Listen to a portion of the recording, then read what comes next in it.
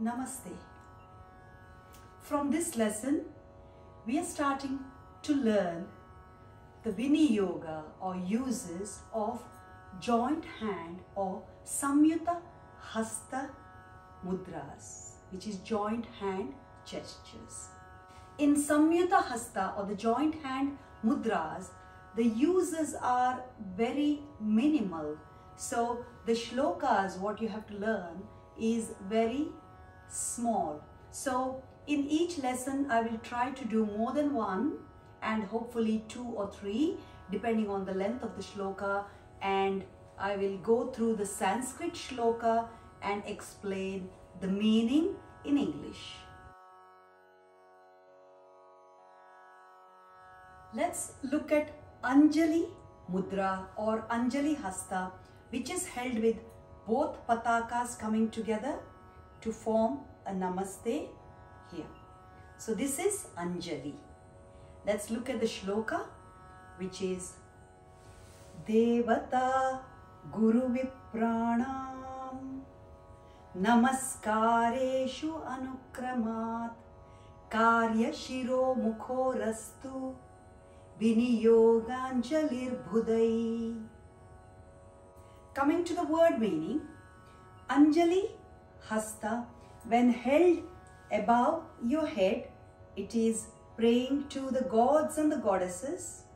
You bring it against your forehead or in front of your nose, and that is to the teachers, gurus, and then you bring it to the chest.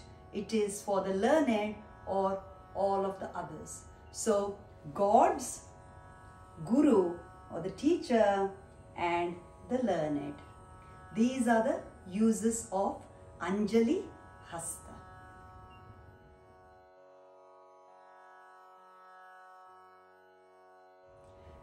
Let us look at the Kapota Mudra which is just cupped palms coming together to form Kapota Mudra. Shloka is Praname Guru Sambhashe Vinayangi Kriteshvayam. Just three words, one line shloka. Meaning is Praname is respectful salutation. So this with a bend is paying respects. Then Guru Sambhashe is conversation with your Guru. So you just bend and accept.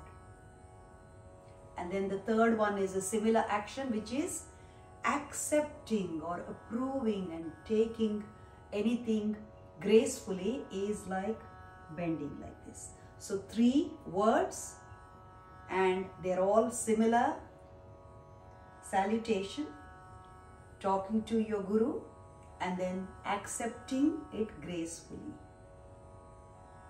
Those are the uses of Kapota Mudra.